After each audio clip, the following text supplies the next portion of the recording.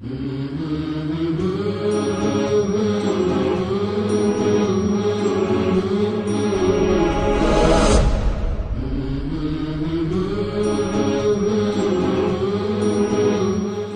ar-Rahman ar-Rahim. Allahumma salli ala Muhammad wa ali Muhammad. May the Almighty accept your deeds and fulfill all of your requirements and needs.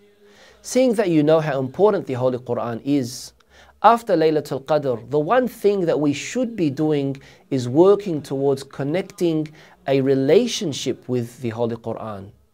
We should choose to live a Quranic lifestyle one thing that we need to push ourselves to do is gain more knowledge. And that's why the Holy Quran says, Bismillah ar-Rahman ar-Rahim, وَقُلْ رَبِّي زِدْنِي عِلْمًا Asking us to pray to God to increase us in our knowledge. And the best kind of knowledge is the knowledge of Islam, the knowledge of Ahlul Bayt, the knowledge of the Quran.